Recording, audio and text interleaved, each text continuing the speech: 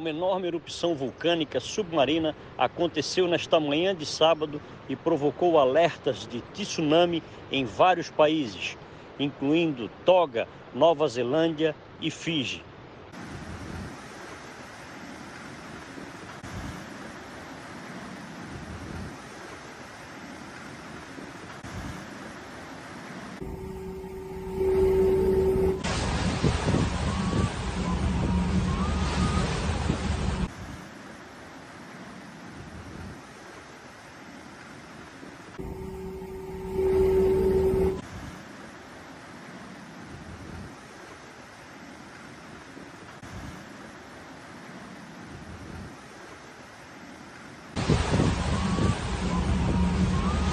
As imagens mostram enormes ondas passando pelas cidades. Segundo relatos, testemunhas locais disseram que as cinzas estão chovendo na capital de Toga.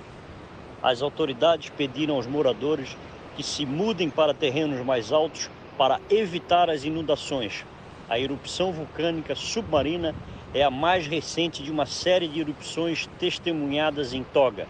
Segundo relatos, a erupção de oito minutos foi tão violenta e tão alta que pôde ser ouvida em Fiji, localizada a 800 quilômetros de distância, e também na Nova Zelândia, que fica a mais de 2 mil quilômetros de distância.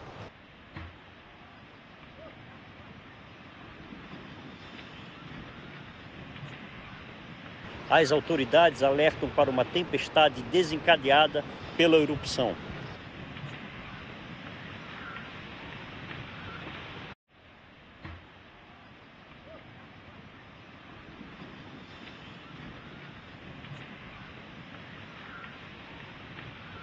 Fumaças vulcânicas, cinzas e gás da erupção atingiram 20 quilômetros no céu, de acordo com os serviços geológicos de Tonga.